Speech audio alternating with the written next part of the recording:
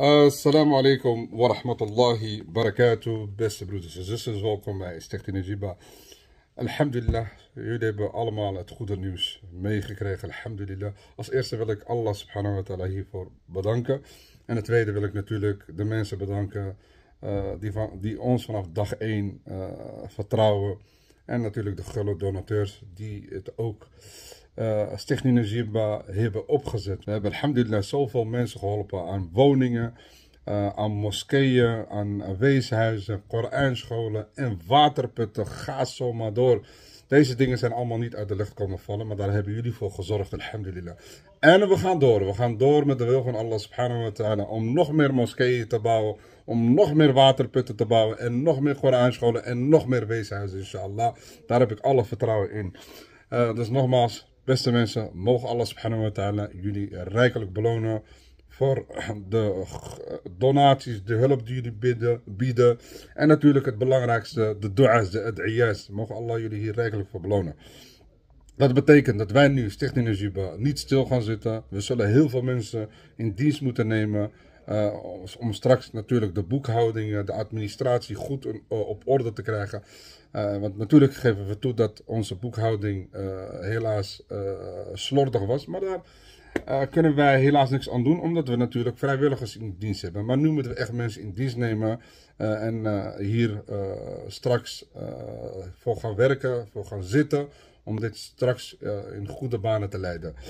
En natuurlijk ook wil ik erbij zeggen, beste mensen, uh, zoals jullie weten, Stichting Najiba is nu bezig met een grote weeshuis in Tanger. Dat, ons, dat heeft ons heel veel geld gekost. Uh, we hebben het uh, verbouwd, alhamdulillah. We zijn nu met de inboedels bezig. stichting Najiba had toen in die tijd nog geen stichting in Marokko, ook geen bankrekeningnummer in Marokko. Dat heb ik nu dit keer wel allemaal gedaan, alhamdulillah. We hebben een stichting geopend in Marokko, een bankrekeningnummer geopend.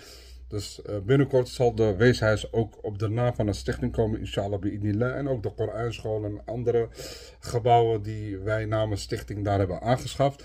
Uh, en wat ik al zei, dit zal nu allemaal in de toekomst uh, prioriteit krijgen. En zo snel mogelijk zullen we dit in orde maken. we zijn gewoon gigantisch gegroeid in de afgelopen tijd. En uh, alhamdulillah, met de wil van Allah subhanahu wa ta'ala is dit ook voor elkaar, hebben we dit voor elkaar gekregen. Want zonder Allah subhanahu wa ta'ala hadden we dit niet uh, kunnen realiseren. En natuurlijk dankzij de muhsinin. nogmaals, binnenkort hier meer over. Maar nu gaan we inshallah weer door met het werk waar we natuurlijk altijd goed in zijn. En dat is natuurlijk mensen verblijden met woningen, met moskeeën en ga zo maar door. En dankzij jullie hadden we dit nogmaals niet kunnen doen, alhamdulillah. en natuurlijk de lidmaatschappen, want dankzij de lidmaatschappen hoeven wij niet meer zoveel inzamelingen te doen. Alleen voor de uitvaart, omdat natuurlijk de mensen hier niet bijna voor doneren. Ik moet hier natuurlijk echt donaties voor vragen. Maar voor de rest doen wij helemaal geen inzamelingen meer. Omdat natuurlijk wij leden hebben en daarvoor het geld ook gebruiken, alhamdulillah.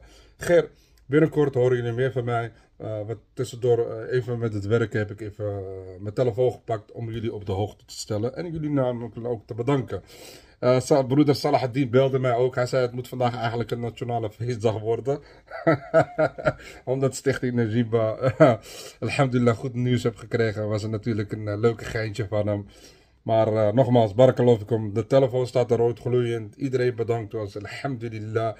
Uh, nogmaals, barakallahu Ik wil iedereen bedanken, ook die ik vergeten ben. Mogen Allah subhanahu wa ta'ala iedereen rijkelijk belonen. En mogen Allah subhanahu wa ta'ala van jullie houden zoals jullie van Stichting Najiba houden. Amin barakallahu fikum. Assalamu alaikum wa rahmatullahi.